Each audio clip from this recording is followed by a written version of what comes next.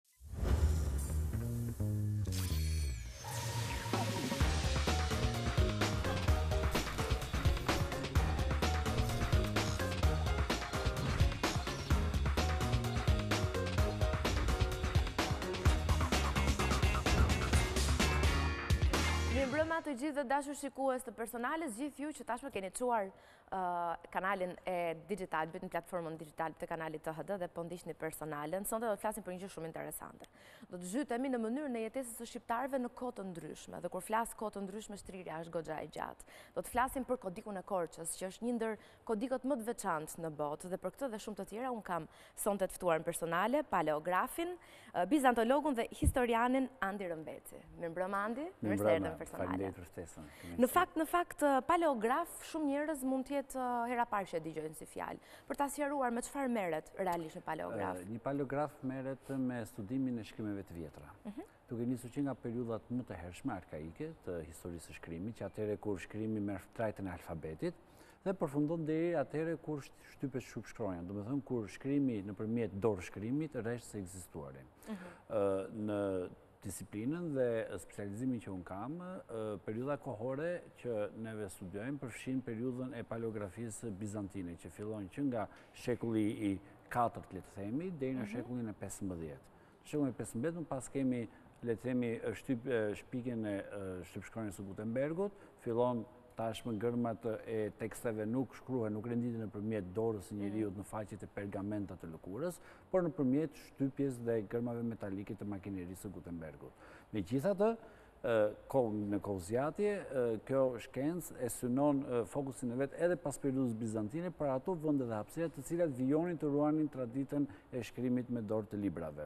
Mhm. Paleografia merret me studimin e shkrimit. Trajtat e ndryshme që shkrimi merr në në shtratin e tij të historisë. si evoluon, çfarë formash merr, si korrespondojnë format e tij me historinë e zhvillimit kulturor të kohës, e cila e ka ndikuar, kështu që përbën për paleografin edhe një mjet domosdoshmëri, i domosdoshëm për t'u njohur në mënyrë që të, të futet brenda thellësisë së teksteve të historisë, mhm. por nga ana tjetër edhe një mjet i domosdoshëm për të kuptuar se si evoluon vetë libri dhe natyra e shkrimit në hapësira të ndryshme në kohë të ndryshme. Mhm. Shumë interesant. Kjo është një nga fletët në pergament të kodikut të Korçës mhm. numër 93, që sot ruhet në arkivin qëndror të shtetit, dhe dikur ka qënë pjesë e Mitropolisë së Korçës. Mhm. është një kodik jashtëzakonisht interesant, nuk është vetëm një kodik i vyër përsa i përket vjetërsisë, por edhe karakterit edhe kulturës që ai mbart. Ne e kemi quajtur një dëshmi të dy kulturave më të mëdha të kohës së atëhershme në mhm. shkallë botërore, që prezantohen dhe dëshmohen në hapësirën shqiptare. Është një ndër kodikët më të veçantë në botë, apo jo? Më të veçantë. Bëhet fjalë për kodikun e Korçës numër 93 që i përket shekullit të dhjetë. Shekulli i dhjetë është një shekull jashtëzakonisht i rëndësishëm për periudhën e Bizantit. është shpërthimi i dytë kulturor i perandorisë Bizantine. Mhm. Kemi epokën e enciklopedizmave, kemi epokën e zhvillimit të universiteteve, epokën e zhvillimit të letërsisë, të artit, të kulturës, të arkitekturës, Perandoria e Bizantinit tashmë ka konsoliduar kufijtë politik, është rimëkëmbur ekonomikisht, dhe si rezultat fillon dhe del edhe bumi kulturor. Mhm. Ky kodik është pikërisht prodhim i punishteve kodik prodhuese të Konstantinopojës, pra të kryeqendrës së botës së atëhershme që prodhonte kulturën. është mjaft interesant, sepse teksti që përmban ai, jo përsa i përket përmbajtjes së tij, po përsa i përket mënyrës se si është shkruar, ka një veti të përveçme. Përsa i përket përmbajtjes, teksti ka përmbajtjen e katër ungjive. Është një Bibël, një mhm. Bibël e shekullit të dhjetë. Teksti veçse nuk është shkruajtur në formën e zakontë dhe tradicionale të shkrimit, në një kolonë ose dy kolona, mhm. por është shkruajtur në formë kryqi.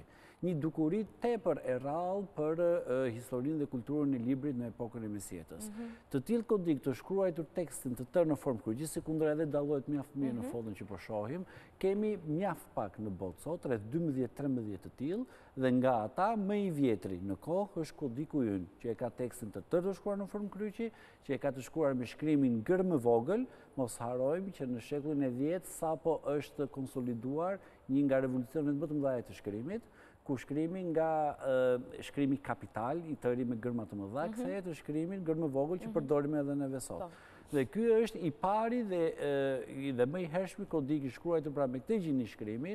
Shkrimi është mjaft interesant dhe është tepër kaligrafik, quhet bulete, sepse ka toptha të vegjël në mhm. fundet e skajeve të gërmave.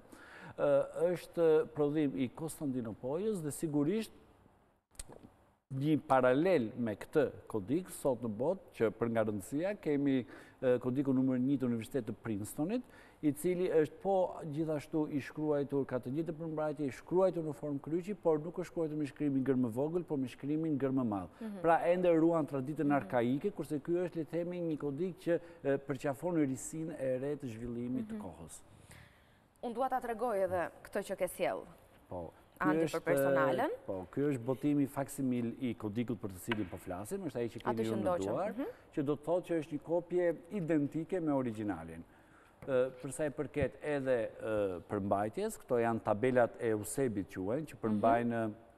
pjesë të ndryshme që korrespondojnë me njëra tjetrën brenda përmbajtjes së kodikut.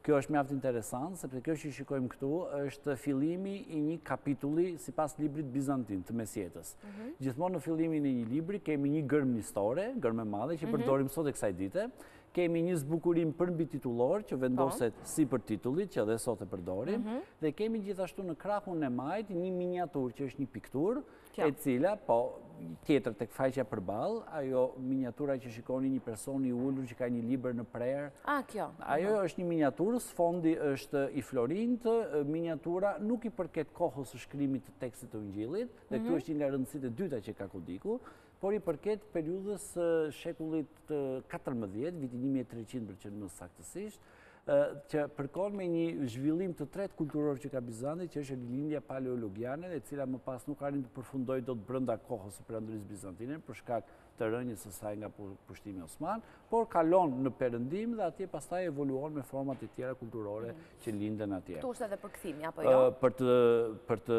nxjerrë në pah vlerat po, që ka, po, për të nxjerrë në pah vlerat që ka kodiku, ne menduam që përveç se botimit të faksimiles tij të bënim edhe studimin shterues të kodikut, por ta mhm. shoqëronim gjithashtu edhe me transkriptimin e tekstit të tij, për të kuptuar jo vetëm formën dhe mënyrën e gjuhës së përdorur në periudhën e shekullit të dhjetë, por gjithashtu edhe për të interesuarit e posaçëm që merren me studimin e tekstit të Biblës, për të kuptuar se çfarë ndryshimesh ka teksti, një tekst kaq i hershëm biblik, me tekstin që përdoret sot, dhe nëse ka ndryshime, apo jo. Mhm. është një kodik i përmasave të vogla, dhe për këtë arsye ne e kemi, e kemi pajisur botimin faksimile dhe me një lupë, e cila do ndihmonte studiuesit për të lexuar tekstin origjinal. Ta provoj ta lexoj njëherë skenarin me lupë. Po s'ta mëdha ja.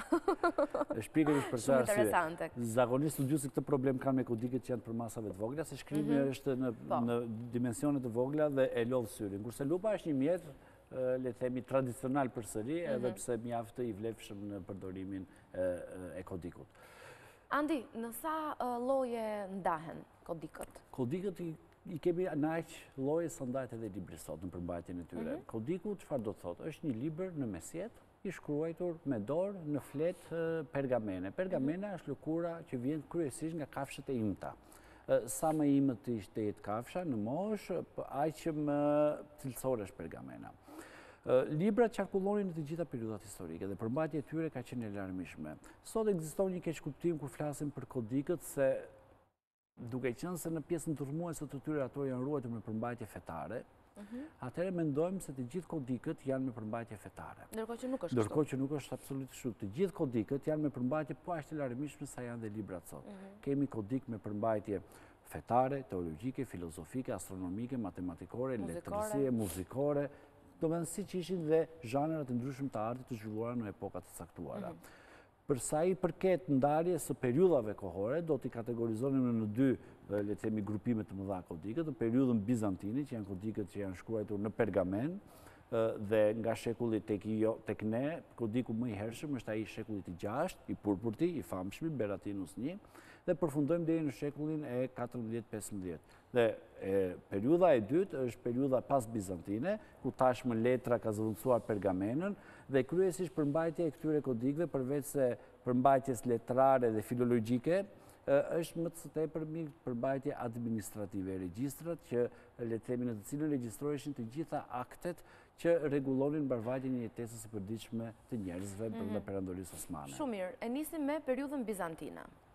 Do të ndjekim disa. Po, ky që shikojmë në foto është partitura më e vjetër dhe më e hershme muzikore që ekziston në Shqipëri dhe që është përdorur në Shqipëri. Mhm. Ka dy karakteristika si kodik. E para, letra që është shkruajtur kodiku është shumë e veçantë, quhet letër bombicin, është e rrallë në kohë dhe është letra e prodhimit arab ndërmjet pergamenës dhe letrës perëndimore. Mhm. Quhet bombicin dhe shumë e rrallë. Kodikët që janë në këtë letër Duke qenë se janë kaq të rrallë, janë dhe shumë të vyer për të parë edhe historinë se si ka evoluar libri dhe është zhvilluar në mhm. periudhën e mesjetës.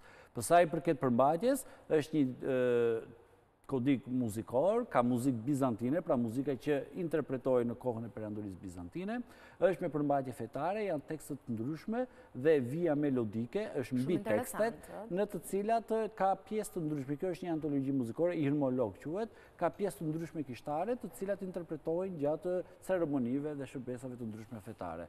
Është shumë i rëndësishëm, sepse është i shkruajtur me shkrimin e vjetër bizantin, mhm. i përket shekullit të 13, dhe është një nga dëshmitë e përdorimit të muzikës në hapësirën shqiptare që në shekullin e 13. Nuk do të thotë që nuk përdorej dhe më herë. herët për mhm. muzika, po kjo është dëshmia dhe fakti i prekshëm që neve po. kemi partiturën e parë në Shqipëri, e kemi të kësaj periudhe, të shkruar në mhm. letër.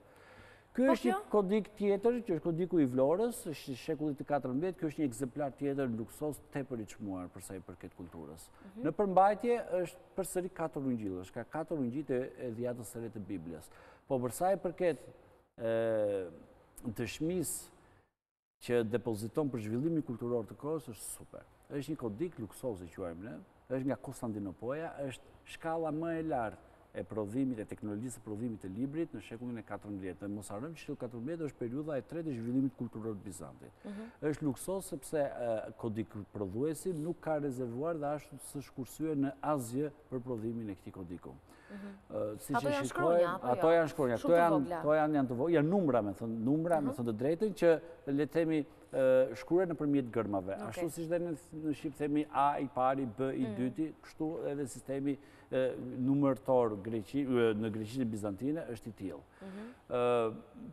Ky që shikojmë në foto është një tjetër kodik, është një ndër dy kodikët më të çmuar që neve kemi dhe ruajmë sot në Arkivin Qendror të Shtetit. A është në xham apo më duket mua? Nuk është në xham, është në dy pllaka hermetike, organike, mhm. të cilat e ruajnë atë nga kontakti dhe mikroorganizmat që vijnë nga po. kontakti me ajrin. Është kodiku Beratinus 2, i shekullit të mhm. nëntë, i purpurt, që vjen nga Kostandinopoja, është pjesë e kujtesës së botës dhe ruhet nga UNESCO, është një ndër ekzemplarët më të rrallë jo në nivel kombëtar, por në nivel botëror, dhe së bashku me kodikun Beratinus 1, është një dëshmi mjaft e madhe, mhm. përsa i përket lidhjeve të ngushta që kishte hapësira shqiptare me vetë perandorinë bizantine dhe krye mhm. qendrën e perandorisë bizantine. E them këtë sepse kodikët e purpurt Janë kodikë të cilët nuk prodhohen dot nga askush tjetër përveçse perandorit.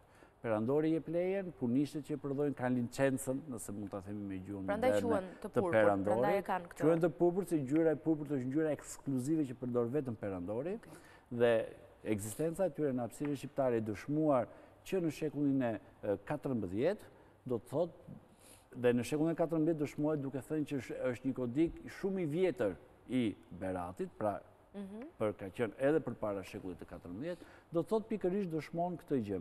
Kodiku doja të ndalesha përpara se të kalonim në fotografitë e tjera, doja të ndalesha pak te kodiku Beratinus 1 dhe Beratinus 2, për të kuptuar dy, le themi, aspekte nga rëndësia që ato mbajnë. Kodiku Beratinus 1 është i periudhës së kohës së Justinianit të Madh. Mhm. Shekulli i gjashtë është një periudhë jashtëzakonisht e rëndësishme për perandorinë e Bizantit. Është bumi i parë kulturor, konsolidimi i perandorisë, futja e perëndimit përsëri si pjesë e perandorisë bizantine dhe hapësira shqiptare është një hapësirë ndërmjet lindjes dhe perëndimit. Pikërisht kjo, le të themi, rëndësi strategjike dhe nevralgjike e pozicionit gjeografik, por edhe aspekte të tjera, duke qenë se në hapësirën shqiptare fillonte rruga Egnatia që lidhte perëndimin drejt me kryeqendrën e perandorisë Kostandinopojën, duket se e ka bërë perandorin e asaj kohë, Justinianin e Madh, që një kodik të tillë ta bëjë dhuratë në hapësirën shqiptare ose në një le të themi, strukturë kishtare që kishte brenda juridiksionit të saj dhe hapësirën shqiptare. Dhe kjo gjë është mjaft e rëndësishme për të kuptuar mhm. lidhjen e ngushtë që kishte hapësira shqiptare dhe historia e popullit shqiptar në periudhën kur flasim me qendrat kryesore të perandorisë. Kur themi mhm. Konstantinopojën, flasim për zemrën e perandorisë bizantine. Mhm. Mirë, nuk di nëse kemi... Këto janë të po, periudhës pas Bizantine, apo jo? jo? Këto janë të tëra të periudhës Bizantine. Mhm. Kjo është përseri një aspekt tjetër i kodikut të Vlorës, i cili është, sikur e thashë, tepër luksoz. Po, kemi të bëjmë edhe me të njëjtin, por me foto të ndryshme. Po, me foto të ndryshme të të njëjtit kodik. Tashmë do të ndalojmë tek periudha pas Bizantine. Periudha pas Bizantine është një periudhë tjetër mjaft e rëndësishme, Duhet të dimë dy gjëra si ekzistojnë kodikët bizantinë në periudhën pas bizantine. Mhm. Duhet të dimë pak kontekstin historik. Në periudhën osmane, perandoria bizantine rreshti së ekzistuari nga ana politike, por nga ana kulturore, nga ana administrative, nga ana sociale dhe nga ana fetare, ajo vijoi të ekzistonte.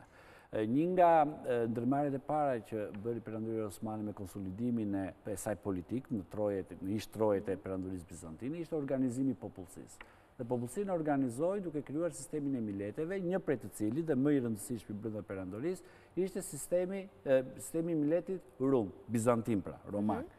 Të cilët organizoheshin, iu dha e drejta të organizoheshin sipas traditës, gjuhës dhe zakoneve të veta ligjore. Mhm. Që do të thotë, sipas të njëjtës mënyrë që ato organizoheshin përpara se të vinte perandoria osmane, në perandorinë bizantine. Mhm. Kështu që ata filluan të merrnin kodikët ligjorë të perandorisë bizantine dhe t'i rijetëzonin përsëri në praktikën e tyre, filluan të organizonin jetën e komuniteteve të tyre brenda vetes sipas legjislacionit bizantin, duke pasur në qendër, le të themi, peshkopin e zonës, elementi fetar tani merr edhe aspekte politike të organizimit të komuniteteve, prandaj kemi edhe në qendër të çdo komuniteti, kemi një kishë, siç është zona e Mangalemit për shembull, është mjaft interesante për ta ilustruar këtë gjë.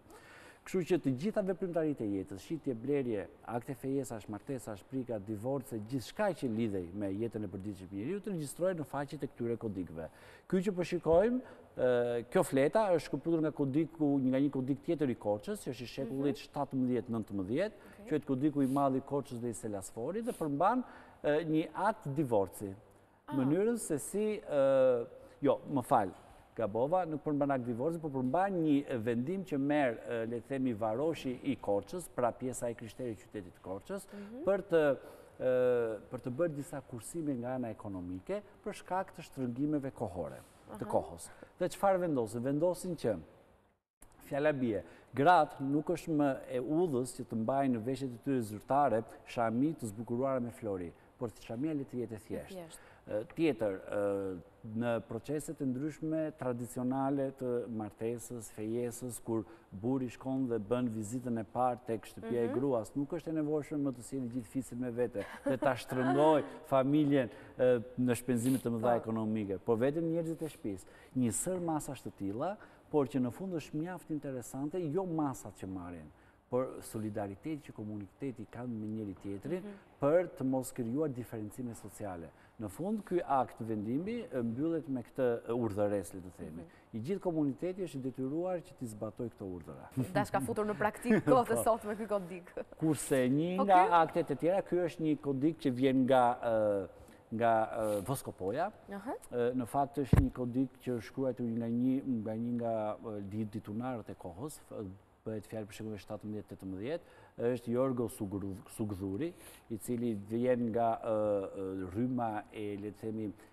nga ajo kategori dijetarësh të cilët ishin arsimuar në perëndim, merrnin idetë e rilindjes europiane, i sillnin në Ballkan dhe përpiqeshin që nëpërmjet veprimtarive të tyre në vepra filozofike kryesisht, të përhapnin idetë e reja dhe filozofitë e tyre për liberalizëm mhm. dhe për emancipim. është mjaft e rëndësishme, kjo që shikojmë këtu me atë diagramën në krahun e majtë, është po, është pikërisht mënyra se si funksionon logjika Dy diagramet e logjikës, se si njeriu mund të strukturojë një koncept logjik nga fillimi deri në fund. është një nga, le themi, elementet e rëndësishëm që gradualisht, duke pasur një përhapje shumë të madhe në Ballkan, kryesisht nëpërmjet dy shkollave, asaj të Zosimesë në Janinë dhe të Voskopojës, mhm. Akademisë së Re, pati një përhapje dhe përqafim në popujt e Ballkanit, duke gradualisht, duke i zgjuar ata, dhe duke i mësuar që nëpërmjet me mesazhe të ndryshme filozofike që përçoheshin në faqet e këtyre kodikëve, që të, të të të zgjoheshin dhe të hidhnin tutje zgjedhën e perandorisë osmane. Mhm. Janë shumë të rëndësishëm për sa i përket historisë, sepse tregojnë se si idetë e rilindjes europiane kalojnë në hapësirën shqiptare dhe pasqyrimin dhe le të themi impaktin që ato patën në zgjimin e kombeve Është pikërisht, le të themi, periudha para rilindjes ballkanike, kur popujt filluan që të krijonin konceptet e rilindjes dhe të krijimit të shtet-kombeve. Mhm. Kemi dhe një tjetër? Apo kjo ishte e fundit? Po, kemi dhe një. Mm, ky është një tjetër kodik, karakteristik. Ky është nga Voskopoja.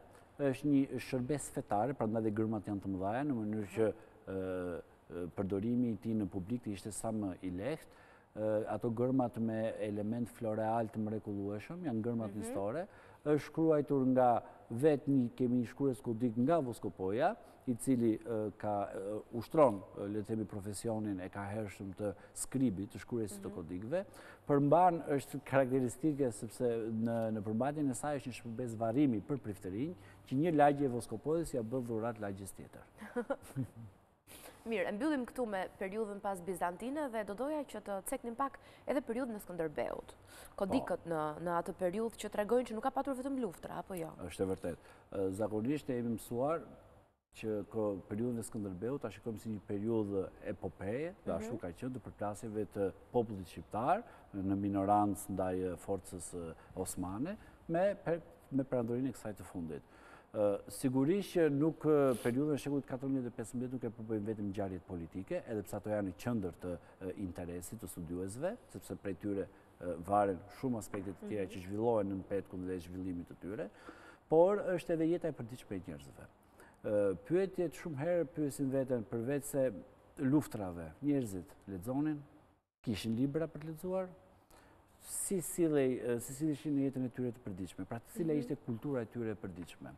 Dhe nga kërkimi që kemi bërë, kemi hasur dy burime mjaft të rëndësishme, të cilat kishim indicie shumë të le të themi të zbehta, por nuk i dinim që ekzistonin dhe ku ekzistonin, nga disa kodikë që kanë qenë pronë e Mitropolisë së Beratit në shekullin e 14-15 dhe më pas në vitin 1900 Këto kodikë i shohim që nëpërmjet Korfuzit përfundojnë në Bibliotekën Nacionale të Londrës dhe në Kolegjin e Shën Mari Magdalenës së Oksfordit.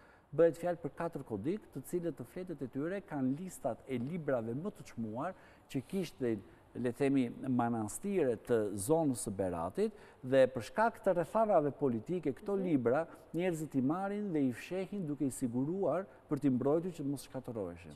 Dhe kjo është një, një e dhënë mjaft e rëndësishme, jo vetëm për të parë përmbajtjen e librave dhe numrin e tyre dhe për ta krahasuar me nivelet e tjera të mhm. bibliotekave në vendet fqinje, por dhe më gjerë në Europë dhe për të parë cili është zhvillimi i bibliotekave dhe qarkullimi i librit në hapësirën shqiptare, por nga ana tjetër për të parë edhe ndjeshmërinë që kishin njerëzit për librin.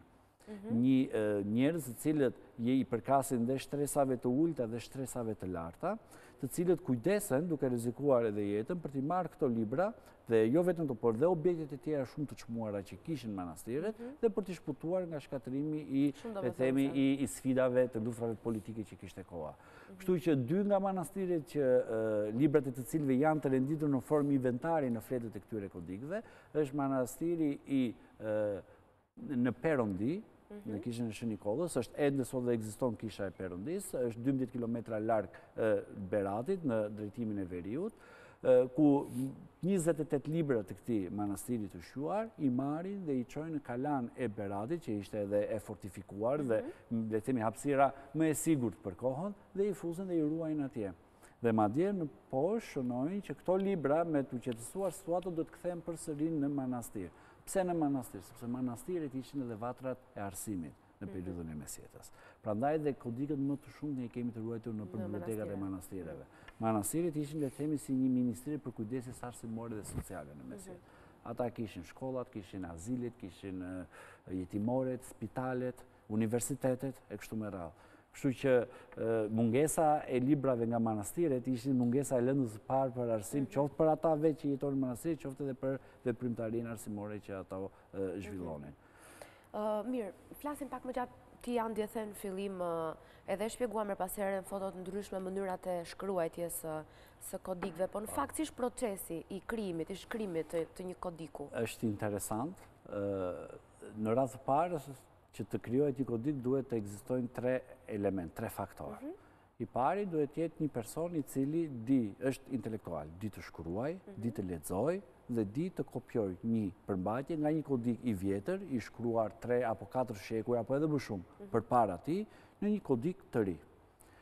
I dyti është personi që është i interesuar. Një person që kërkon të ketë një libër. Si neve sot, nëse duam një libër, shkojmë në mhm. librari dhe e blejmë, në atë kohë shkonin te kodikshkruesi dhe porosisnin, që ai një kopje t'ua krijonte. Mhm. Së treti, duhet të jetë ai që vë në lëvizje çdo veprimtari tregtare dhe ekonomike. Sponsorizuesi. Ai që duhet të paguajë këtë punë. Sponsorizuesi. Nuk na u ndanë në çdo periudhë historike. Jo, jo, jo, shumë të rëndësishëm. Sepse ai duhet të paguajë gjithçka. Dhe kodikët, më besoni, janë shumë të shtrenjtë. Për një kodik siç është ai i Vlorës shekullit dhjetë me 300-400 fletë, Janë të shtrenjtë për shkak të përbërjes së fletës ku shkruhen. Duhet të thereshin një kope prej 200 deri në 400 bagëti. Pse? Sepse kodikët përbëhen nga lëkurët e kafshëve.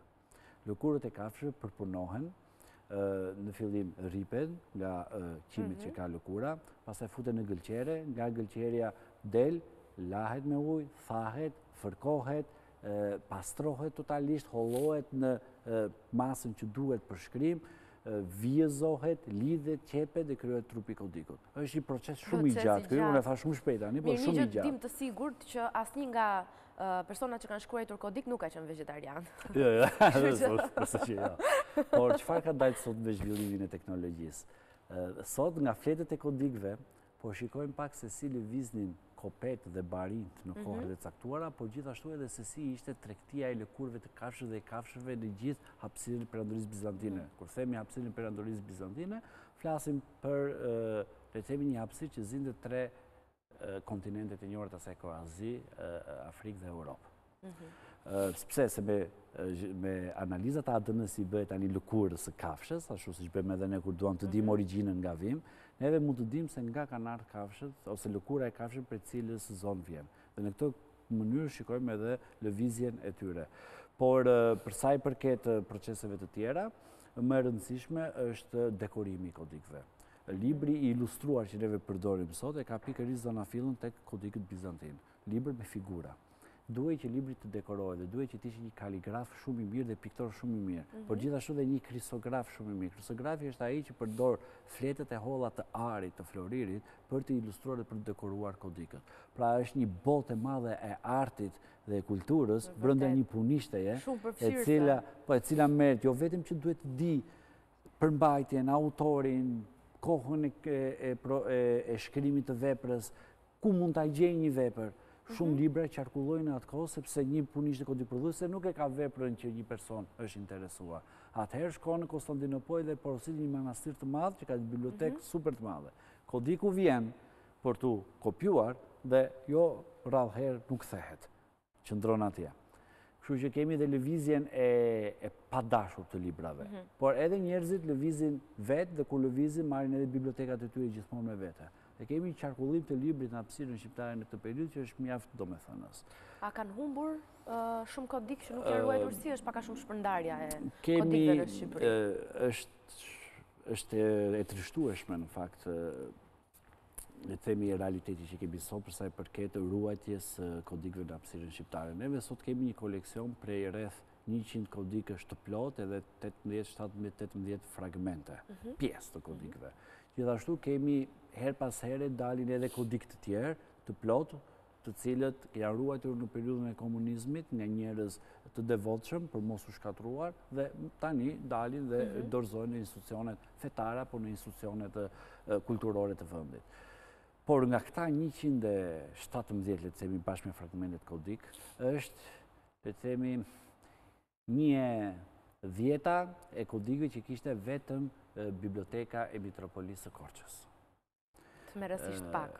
Tmerrësisht pak. Neve dua të them një shembull për ta kuptuar, vetëm në Mitropolinë e Beratit, në bibliotekën që kishte godina e administratës, mhm. jo manastiret, jo shkollat, jo të tjerat. Vetëm atje, në vitin në fillimin e shekullit të njëzet, Nikolas Bejs, një nga dijetarët e kohës, i cili shkon dhe rrëmon nëpër bibliotekat e Mitropolive, atje na regjistron 100 kodikë, të cilët bën një katalog, një përshkrim, i mhm. boton, e boton këtë katalog, dhe prej të cilit dhe falë punës së të cilit ne njohim që në atë kohë, vetëm Mitropolia e Gjirokastrës kishte 100 kodikë. Nga ata e di sa ruhen sot në arkivin qendror të shtetit. Një. Vetëm një. Gjithashtu dimë që Mitropolia e Beratit ka qenë, dhe kur flasim Mitropolia e Beratit, flasim për një le të themi, njësi administrative kishtare, e cila e shtrinte juridiksionin e saj në gjithë Shqipërinë e mesme. Mhm. Kur flasim për Gjirokastrën në gjithë Shqipërinë, le të themi, jugperëndimore, Korça, juglindore, kështu me radhë.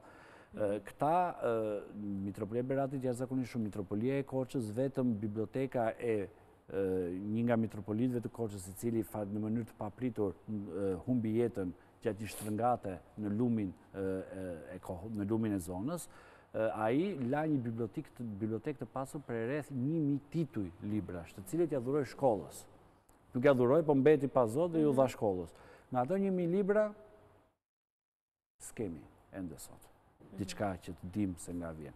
Por gjithashtu në shekullin e 19 është bërë edhe një lëvizje e librave nga njerëz të cilët e dinin vlerën e tyre, kalonin në hapësirën shqiptare, zakonisht udhëtarët, i merrnin në forma të ndryshme dhe i transportonin pastaj në perëndim. Dhe kjo s'ka mhm. ndodhur vetëm në hapësirën shqiptare, po ka ndodhur kudo. Po shohim ndërkohë edhe disa foto? Kjo është pjesë e historisë së dy kodikëve më të çmuar që ne kemi, kodikut Beratinus 1 të shekullit të 6 dhe Beratinus 2 të shekullit të 9. Mhm. Kodikët ishte kanë qenë pjesë e devotshmërisë së ruajtjes prej banorëve të Beratit.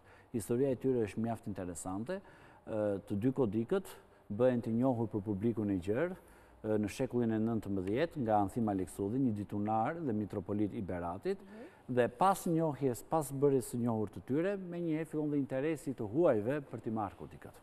Dhe çdo, le të themi, pushtues që kalon nga hapësira shqiptare, përpiqet t'i marrë ato. i të fundit kanë qenë Gjermanët, për të cilët për ta shmangur këtë humbje, epitropët, priftërinjtë dhe banorët e kalasë së Beratit, mhm. ku ishte edhe qendra kryesore dhe katedralja, mblidhen dhe e fshehin kodikun, të dy kodikët, i fshehin në pjesën prapa altarit të kishës katedrale, ende dhe sot nëse dikush do shkojë te muzeu Onufri në Berat, që mhm. është brenda katedrales së Beratit, do të shikojë që në pjesën e pasme është gropa ku janë gjetur të dy kodikët. I fshehin atje në mënyrë që të mos i gjejnë Gjermanët dhe të mos i mhm. marrin. Japin premtim që nuk do ta nxjerrin sekretin, dhe nuk e nxjerrin sekretin deri në vitin 1968, nëse mhm. s'gaboj. Pra, një vit pas shpalljes së Shqipërisë si shtet ateist. Që ishte një kërcënim dhe rrezik tjetër i madh për dy kodikët e purpurt të Beratit, sepse përmbajtja e tyre ishte biblike. Mhm. Megjithatë, ato dalin, personi i fundit që dinte sekretin, përpara se të vdiste e tregon, kodikët merren nga instancat përkatëse shtetërore, kalojnë në arkivin qendror të shtetit, nga atje në vitin 1971 ndodh një marrëveshje me Republikën Popullore, mhm. motër të Kinës, ku kodikët çohen për t'u restauruar. Atje i nënshtrohen procesit të restaurimit, edhe pse kinezët në fakt për herë të parë përballeshin me një fenomen që duhet t'i jepnin zgjidhje të kësaj natyre, mhm. as për ata nuk ishte e njohur mënyra se si do t'i restauronin, por megjithatë kanë bërë një punë restauruese goxha të mirë, sepse dy kodikët, duke qenë se ishin një kohë shumë të gjatë brenda në tokë, në një kuti me lagështirë, dhe janë lëkurë kafshe, pra mhm. organike, kodikët ishin bërë si dy copa tullash. Fletët ishin ngjitur me njëra-tjetrën, ishin bërë si një trup i vetëm. Kështu që me procesin e avullit dhe me procese mhm. të tjera restauruese, këtu kemi shikojmë foto nga proceset e restaurimit që është bërë në Kinë, ku një mhm. grup prej dy arkivistësh nga Shqipëria, shoqërojnë dhe grupin kinez dhe së bashku merren me procesin e restaurimit të kodikut. Dhe sot kodikët, pasi u ndanë fletët njëra nga tjetra, u mbyllën në Pllaka hermetikisht të mbyllura organike dhe të tejdukshme në mënyrë që kodikët të mos kenë kontakte me mikroorganizmat, por të ruhen sa më gjatë. Kjo ka qenë periudha më e avancuar e kohës, por sot nuk përdoret më. Mhm. Sepse mbyllja hermetike, një materiali organik nuk i bën mirë. fillon edhe e prish në mënyrë graduale por të qëndrueshme brenda vetes. Kështu që besoj se ka ardhur koha që këtyre kodikëve duhet t'i gjejmë formën e re të restaurimit edhe të apo konservimit. Kemi ne ndërkohë restaurues specialistë momentalisht? Për kodikët... Apo dhe vende ku ruhet? Për kodikët nuk kemi.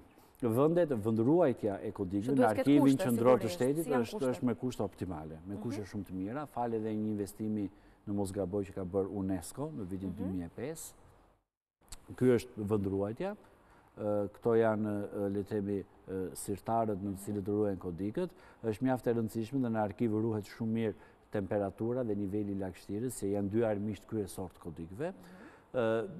Përkujdesja e arkivit është e vazhdueshme për ta, por Kodikët duan ndërhyrje restauruese shumë të specializuara dhe jo vetëm persona që duhet të dinë dhe të kenë përvojë në restaurimin e pergamenës, lëkurës së kafshës e kështu me radhë, por duhen edhe teknologjia, pajisjet teknologjike të jenë të atilla që ndihmojnë procesin e restaurimit. Jo?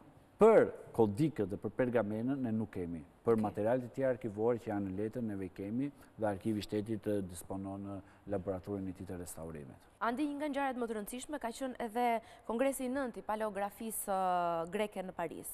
Pse ka qenë i rëndësishëm ky edhe për Shqipërinë? Në fakt kongresi i paleografisë, kongresi botëror i paleografisë është i mhm. rëndësishëm sepse mbledh të gjithë studiuesit që janë në botë të paleografisë, që merren me paleografi dhe me studimin e teksteve të vjetra dhe i bën bashkë. Është një mundësi shumë e mirë për të shkëmbyer mendime, probleme, mhm. për t'u rrjetëzuar, për të njohur kolegë të rinj, për t'u lidhur me profesorë të vjetër që ndodhen larg dhe jashtë hapësirës së arritshme me mundësitë që ne kemi, por mbi të gjitha është një hapësirë për të për të shfaqur dhe shpalosur arritjet më të fundit të studimeve paleografike.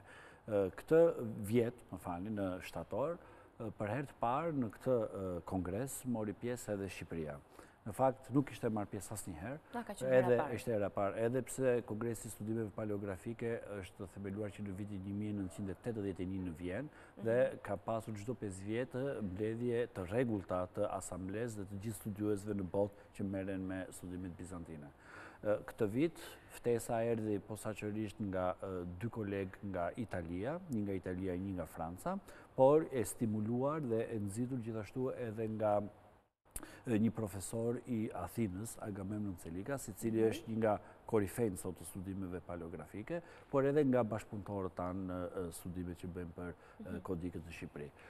Pjesëmarrja në këtë kongres ishte e veçantë, sepse jo vetëm që u ftuam për të marrë pjesë, por na u dha një hapësirë e përveçme për të prezantuar pasurinë e kodikëve që neve kemi në Shqipëri, botës së gjerë të paleografisë.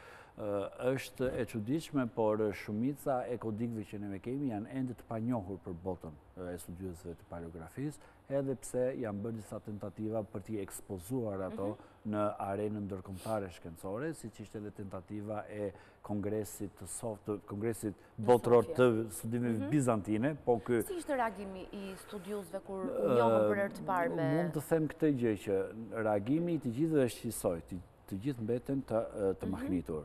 Për shkakun se neve pavarësisht se kemi një numër të vogël, është sikur të kemi një numër eksponantesh të zgjedhur enkas për një ekspozitë për dikë që do të japi thelbin e kulturës së kodikëve. Sepse kemi, mbulojmë një periudhë të gjatë kohore, duke filluar nga shekulli i 6 deri në shekullin e 15, por shkojmë edhe deri shekullin e 19 me kodikët pasbizantinë, kemi të gjitha rrymat kryesore, kaligrafike dhe kulturore, që përmes librit dëshmohen në gjithë botën, i kemi brenda mhm. kodikëve tanë, kemi kodikë të purpurt, siç është Beratinus një që është një ndër 5 kodikët e shekullit të 6 që ndodhen në të gjithë botën, Kemi kodikë me përmbajtje të larmishme, kemi kodikë që vijnë nga qendra të ndryshme të prodhimit dhe të përçimit të kulturës mhm. në gjithë periudhën e mesjetës, pra kemi një pasuri, një thesar të vogël në numër, por shumë të çmuar në rëndësi. Mhm. Dhe pikërisht kjo i bën studiuesit e huaj që të mahniten pas kodikëve tanë.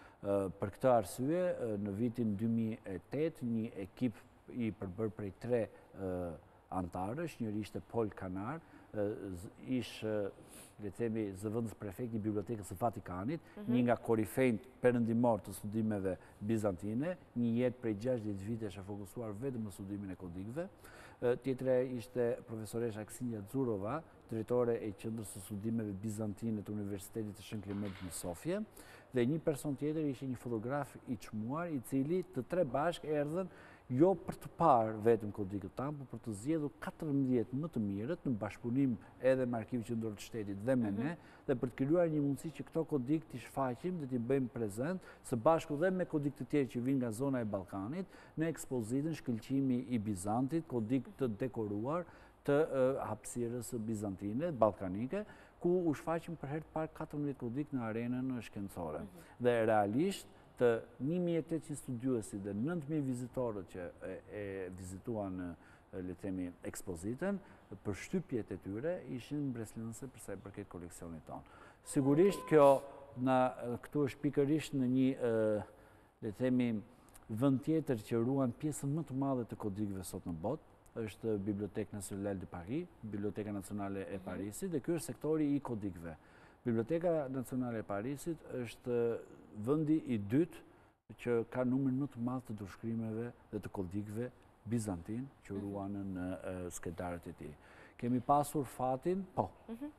Jo, Vazhdoje, pastaj do kalojmë të... Kemi pasur fatin që në rrugëtimin tonë të mos jemi vetëm, dhe kjo është një gjë shumë e madhe për jo vetëm për personat e ri që duan t'i futen kësaj fushe të vështirë, mhm. por gjithashtu edhe për një vend siç është Shqipëria, kur studimet paleografike, me kishin vdekur prej kohësh, me paleografin e fundit që ne kemi pasur, që ishte Theofan Popa. Mhm. Falë përpjekjeve heroike të të cilit, neve kemi shumicën e trashëgimisë kulturore, jo vetëm të kodikëve, por mhm. edhe të fushave të tjera që ruajmë sot.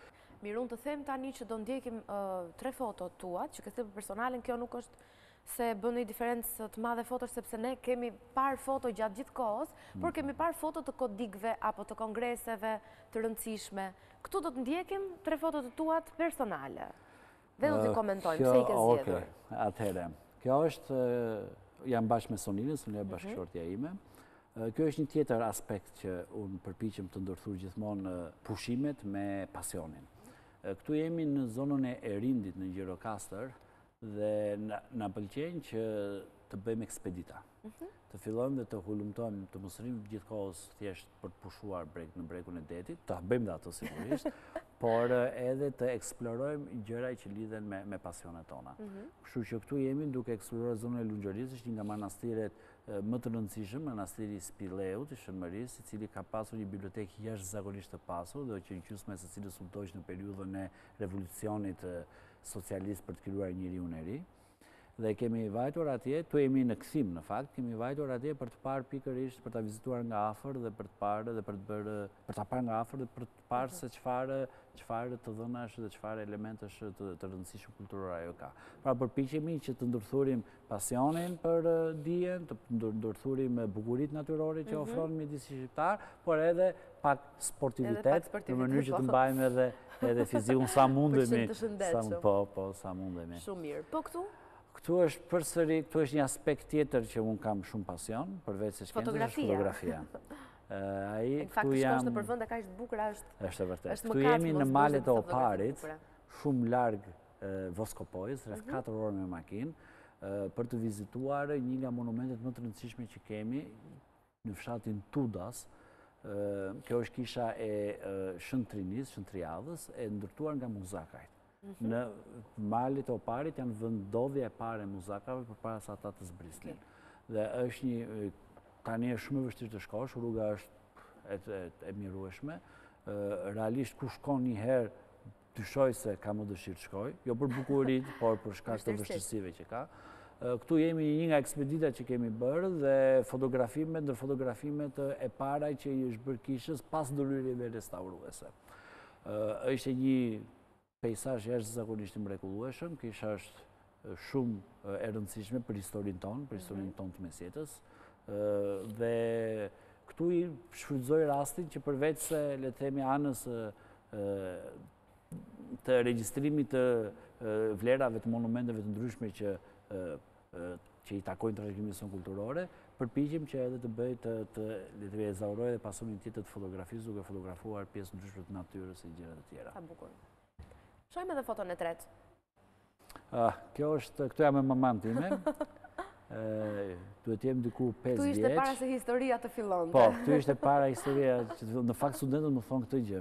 Sa herë marrin vesh ditëlindjen time, më thonë që ti ke lindur njësoj me Konstantinopojën, sepse dhe unë dhe Konstantinopoja kemi lindur të njëjtën ditë. Po kjo s'ka lidhje me atë gjë. Këtu jam me time më, jam diku rreth 5 vjeç, e kam sjellë këtë foto thjesht për t'i për t'i shprehur një falënderim brezit të prindërve tanë. Neve jemi sot, jemi këtu ku jemi, shumë gjëra nuk i kemi jetuar, por i kanë jetuar të tjerët vështirësitë që neve të jemi këtu ku jemi. Kështu që meriton, meriton brezi i prindërve tanë, meriton një mirënjohje. Edhe një përshëndetje për të gjithë. Për të gjithë, për të gjithë. Këtë brez që ka bërë pafund për ne dhe për këdo fëmijë, tashmë pasi sado ne rritemi prapë mbetemi fëmijë për prindërit e ah, na kanë rritur me sakrifica. Është e vërtetë. Mirë, Andi, faleminderit shumë për këto tre foto. Tashmë do të bëjmë dhe një lojë, bashkë para se të ndahemi. Sigurisht që loja mund të jetë edhe me, nuk di, nëse Faleminderit, Landi. Mund ta kthejmë dhe në pak humor, pasi do ketë po, bëj po me kohëra mhm. shumë të vjetra. Dhe këto personazhet, se këtu është një ah, personazh shqiptar, ti do ta çosh në një kohë ku mund të kishte jetuar, ku ti mendon që mund të kishte jetuar mirë, në cilën kohë, epokë, periudhë. Hmm. Mirë, nuk e di, po... Taulant Xhaka, Taulantin ku mund ta fusim sportistin e shquar? Mund ta fusim në lojërat e mesjetës, mhm. ndoshta në periudhën mbas shekullit të 6, ku pas një le të themi pezullimi të lojërave me prejardhje pagane, rishfaqen ato në në formën e tyre më vitale. Ah, dhe ndoshta atje ai do kishte oportunitete shumë të mira në karrierën e tij sportive.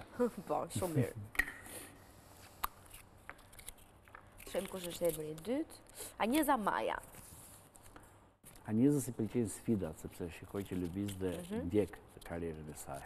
Ndoshta një periudhë shumë e mirë do të ishte një periudhë e shekullit të nëntë, mhm. në periudhën, qoftë dhe ta periudhën e hapësirës shqiptare, qoftë dhe periudhën e Konstantinopojës, sepse në shekullin e nëntë dhe shekullin e dhjetë, fillojnë dhe i jepet një përparësi jashtëzakonisht e madhe kulturës dhe sfidave dhe oportuniteteve të reja për njerëzit që duan të investojnë tek vetja dhe të shprehin ato që kanë. Mm, Besoj se do ta gjente veten mirë në këtë. Super. Po Mehdi Malkaj. Ah, Mehdi. Jo. Ku ka qenë një periudhë po, humori, ku humori ka jo. qenë. Po, po, po. Gjithmonë ka qenë humori. Gjithmonë.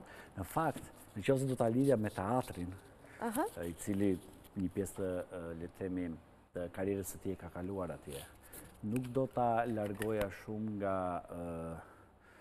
nga zhvillimi i teatrit në Perandorinë Bizantine. Mhm. Ka pas një karakteristikë shumë të veçantë teatri në Perandorinë Bizantine. Nuk ka qenë një zhanër i zhvilluar shumë.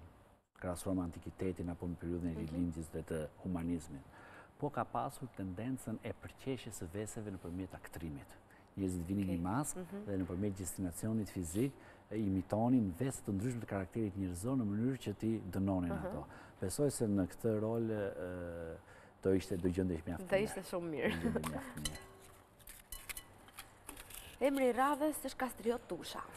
Oh, Për Kastriotin, nga hapësira shqiptare, shqiptar, muzikant, mhm. zë i bukur, potent, do ta zhvendosja në kohë në fundin e shekullit 13, fillimin e shekullit 14, ndoshta do ishte një koleg i mirë me Joan Kukuzelin, një nga muzikantët më të mëdhenj shqiptarë të periudhës bizantine. Lindita Nikolla. Lindita Nikolla. Linditën do ta vendosja në fakt në qoftë se tani po më vjen shumë spontanisht, në qoftë se mendoj që Lindita Nikolla ka qenë ministre e reformës së arsimit të lartë, universiteteve etj etj. Mhm. Do ta ktheja në kohë në shekullin e nëntë, dhjetë, në periudhën e rilindjes maqedonase në Bizant, kur filloi reforma e dijes. Mhm. dolën enciklopeditë dhe u rithemelua në kontekste krejt të reja dhe moderne për kohën Universiteti i Konstantinopojës nga i famshmi politikan, por edhe ditunar i kohës, Barda. Besoj se të dyja epokat janë epoka reformash mhm. dhe Nikollën ndoshta e zhvendosim nga një reformë në një po. reformë tjetër. Emri i fundit, po, është emri i fundit. Orion Shima Orion Shima mund të zërë vende të ndryshme në në perandor, në në mesjetën Perandorinë Bizantine dhe pas. E ka këtë mundësi është piktor, për shkak të profesionit. Për profesionet. Mund ta vinim në zonën e Prespës për shembull, mhm.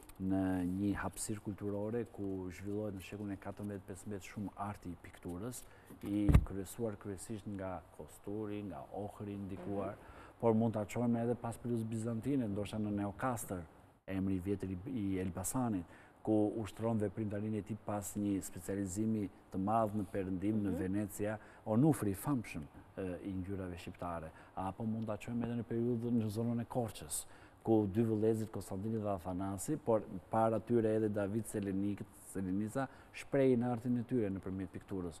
Ka shumë, ai ai mund të zgjedhë ku të dojë. Ai mund të zgjedhë ku të dojë. Mirë, mbaruam edhe me këto dhe mua nuk më mbetet gjë tjetër vetëm të të falënderoj shumë. Ishte kënaqësi, biseda së bashku. Për çdo material edhe për çdo atë që ti ndave me publikun e Personales për gjëra kaq të veçanta. Dhe faleminderit që na jepni mundësinë dhe për ftesën. Faleminderit dhe ti shumë. Do të ndahemi me Andin, por kemi ende pjesën e dytë të Personales ku një tjetër i ftuar na pret.